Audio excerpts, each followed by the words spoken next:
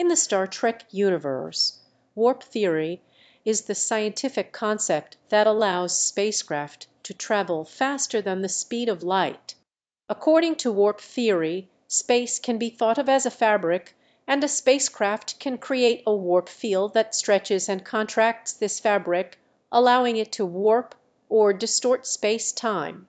This distortion allows the spacecraft to effectively shorten the distance it needs to travel, making faster than light travel possible.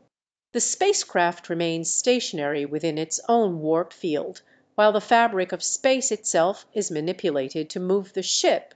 This theory is based on the idea that space time can be manipulated and bent, allowing for faster interstellar travel.